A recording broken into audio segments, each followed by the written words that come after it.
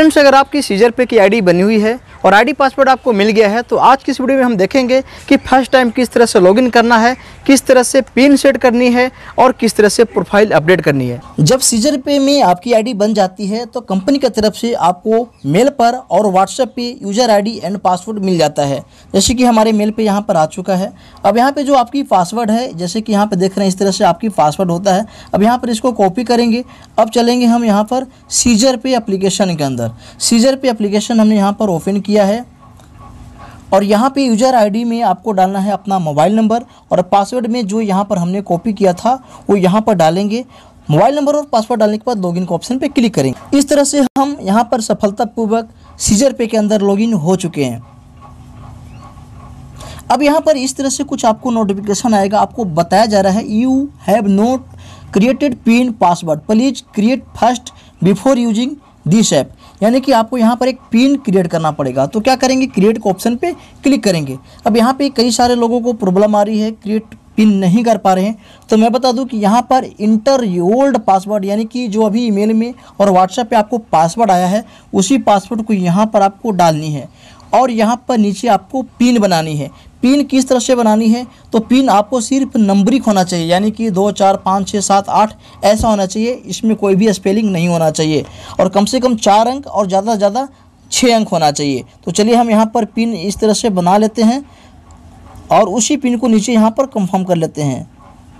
Confirm करने के बाद आप यहाँ पे क्या करेंगे चेंज पिन पासवर्ड के ऑप्शन पे क्लिक कर देंगे। तो यहाँ पर देख सकते हैं कि हमारी जो पिन है, सफलतापूर्वक चेंज हो चुका है। अब यहाँ पर ओके के ऑप्शन पे क्लिक करेंगे। अब हम प्रोफ़ाइल अपडेट करना सीखेंगे। तो सबसे पहले यहाँ पर देखेंगे, नीचे कोने में भी आपको माई प्रोफ़ाइल का ऑप्शन है, या फिर यहाँ पर आप प्रोफ़ाइल का देख सकते हैं, जहाँ पे रिटेलर आपका लिखा रहता है, आपका नाम लिखा रहता है, इसके ऊपर भी आप क्लिक कर देंगे तो भी आपका प्रोफ़ाइल ओपन हो जाएगा।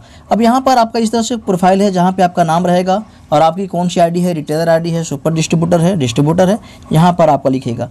यहाँ पर सबसे पहले हम इसको फ़ोटो चेंज करेंगे। आप अपनी मनपसंद का यहाँ पर फ़ोटो लगा सकते हैं। तो इस तरह से क्या करेंगे? कंटिन्यू के ऑप्शन पे क्लिक करेंगे। कंटिन्यू के ऑप्शन पे क्लिक करने के बाद आपको यहाँ पर तीन ऑप्शन मिलता है। डायरेक्ट कैमरा से भी फ़ोटो लगा सकते हैं गूगल ड्राइव से लगा सकते हैं और फ़ाइल से लगा सकते हैं। अब यहाँ पर फ़ोटो को थोड़ा सा हम क्रॉप करेंगे मतलब सेट कर लेंगे और इसके बाद यहाँ पे कोने में जो सही का निशान है, इसके ऊपर क्लिक कर देंगे। यहाँ पर देखेंगे तो यहाँ पर एक एरर आ रही है। बताया जा रहा है कि आपकी जो फ़ाइल है, एक एम से ज़्यादा है।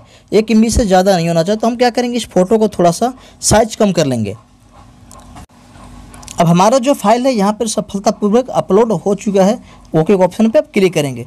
अब हम देखेंगे तो यहाँ पर जो हमारा प्रोफ़ाइल है, लग चुका है। यानी कि हमारा जो फ़ोटो था, अपनी मनपसंद के यहाँ पर हमने लगा लिया है। तो इस तरह से आप भी अपनी प्रोफ़ाइल फ़ोटो को लगा सकते हैं और यहाँ पर पिन भी क्रिएट कर सकते हैं, जैसे कि मैंने आपको बताया।